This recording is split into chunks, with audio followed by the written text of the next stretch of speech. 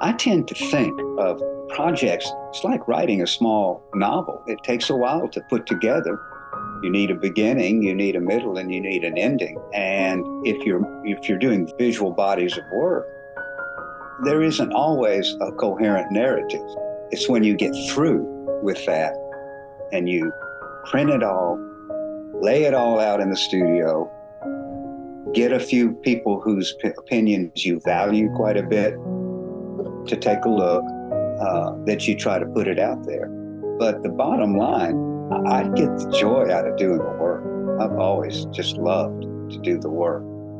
Making photographs, it's like making songs or being, you know, writing music or being alive in the world. It's pay, it's paying a certain attention to what is around me or us and uh, the significance that, that can be found in it. And the last thing I'll say is if you're dealing with visual material, the viewers that come and look uh, at ex- exhibitions, uh, things along those lines, they're generally intelligent people. And so I don't think you have to slap anybody in the face with, here's what I want you to think, or look how good I am, or this or that.